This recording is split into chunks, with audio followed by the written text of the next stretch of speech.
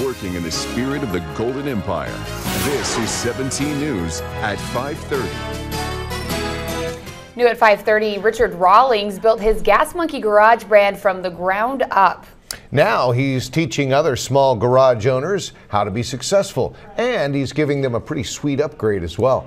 17's Jason Galvin was on hand as the newest reality makeover show made its way to Bakersfield and takes us inside a local shop remake.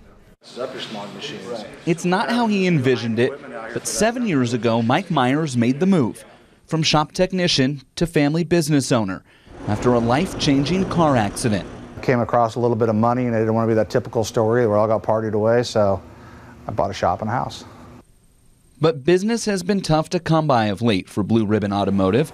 The rising cost of new car technology put Blue Ribbon under a red line. That is until Myers got smart and opened his smartphone. One day at home, uh, playing on Twitter, and uh, came across an ad from Richard Rawlings saying if you have a shop in the Southern California area that may be struggling or needs a new look, to hit him up. The star of Discovery Channel's smash hit Fast and Loud had an idea for a new show. Why not renovate garages? And why not Blue Ribbon? Mike's a good guy, and uh, he just lost his way, and, and the business got away from him. Uh, the equipment was run down, and uh, it seemed like a shop that I could help. I mean, everybody would say, "Why out in Bakersfield?" Well, why not Sandusky, Ohio, or why not, you know, wherever? It's uh, we're traveling the country trying to find uh, good stories that have a reason to keep them open and you know inspire other shops to take care of themselves. The Rags to Riches makeover was underway.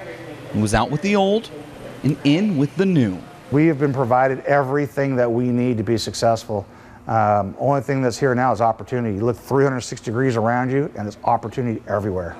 This 32 year old shop received over $175,000 worth of upgrades, including top of the line smog technology. But so much more goes into being a full service automotive shop. Now they can do tires, wheels, transmissions, they can even manufacture their own exhaust.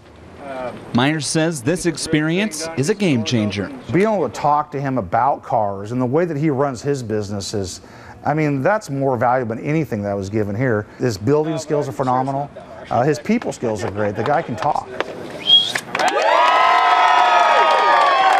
It's really cool when somebody speaks that highly of you. And, uh, you know, I barely got out of high school. I'm not an overly educated guy. I just got in and I get to work and I do what needs to be done. And I try to instill that with anybody that I end up working with. Values Rawlings hopes will carry Blue Ribbon for three more decades. We'll see y'all later. I'm out of Vegas. With Chief Videographer Grant Simpson, Jason Galvin, 17 News. That's how they talk shop. Now, the new show doesn't have an official name yet, but producers say expect its debut on Discovery Channel this summer.